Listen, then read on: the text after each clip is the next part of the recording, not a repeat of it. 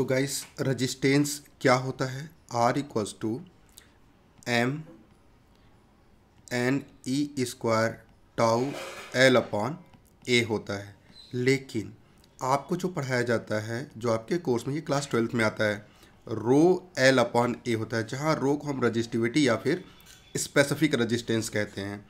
अब specific resistance जो रो हो गया, दोनों एक्सप्रेशन को आप अब कंपेयर कर लीजिए तो रो जो आपको दिख रहा है M upon N E square tau हो गया। जहाँ पे एम मास ऑफ़ इलेक्ट्रॉन हो गया, जो मटेरियल पे डिपेंड नहीं करेगा कौन से मटेरियल से इलेक्ट्रॉन आप ले रहे हो।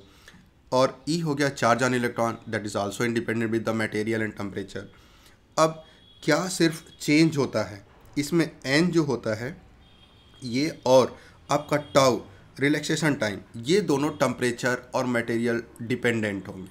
इसका मतलब कि जो रजिस्टिविटी या स्पेसिफिक रजिस्टेंस है, वो सिर्फ़ और सिर्फ़ किस पे डिपेंड करेगा? मटेरियल और टम्परेचर पे। और भी कोई फैक्टर उसको अफेक्ट नहीं करने वाले हैं।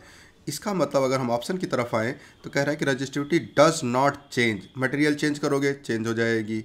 टम्परेचर चेंज करोगे चेंज हो जाएगी। सेप चेंज करोगे, कोई फ़र्क नहीं पड़ेगा, क्योंकि टम्परेचर और मटेरियल पे ही सिर्फ़ सोलली डिपेंड करती है। तो ऑप्शन आपका क्या हो गया?